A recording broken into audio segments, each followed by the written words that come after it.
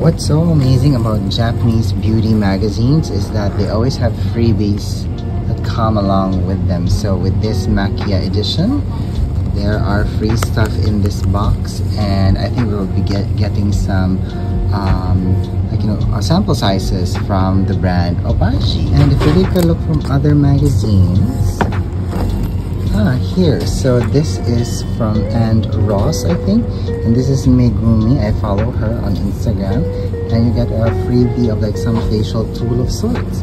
How cool is that? And this magazine called Voce or Vos, Voice, I don't know how to pronounce it. You also get a freebie and you get the Capture Total from Dior and the Forever Skin Glow in one end.